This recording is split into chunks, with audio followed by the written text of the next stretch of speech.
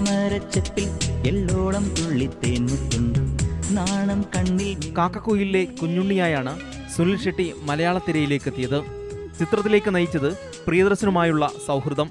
അഭിനയ ജീവിതത്തിന്റെ ആദ്യകാലങ്ങളിൽ ആക്ഷൻ നായകനെന്ന പ്രതിച്ഛായ. അത് മറികടന്നത് പ്രിയദർശൻ സുനിൽ ഷെട്ടിയെയും ഹാസ്യത്തെയും ഒപ്പം കൂട്ടിയപ്പോൾ. അതിനാൽ മലയാളത്തിൽ വീണ്ടും എത്തുമെങ്കിൽ പ്രിയദർശനൊപ്പമാകും. പതിമൂന്ന് വർഷങ്ങൾക്ക് ശേഷമാണ് സുനിൽ ഷെട്ടി ഇത്തരമൊരു ആഗ്രഹം പ്രകടിപ്പിച്ചത്. Uh.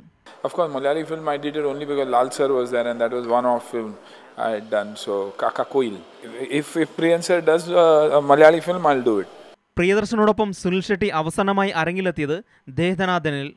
പിന്നീട് ഈ കൂട്ടുകെട്ടിന് നാലു വർഷത്തെ ഇടവേള. ഇതിനെക്കുറിച്ചുള്ള ചോദ്യത്തിന് മറ്റ് ചിത്രങ്ങളുടെ തിരക്കിലെന്നാണ് മറുപടി. ക്യാമറമാൻ ഫൈസൽ നീർക്കുന്നതോടൊപ്പം ഹിജാസ് അഹമ്മദ് ന്യൂഡൽഹി ഇന്ത്യ വിഷൻ.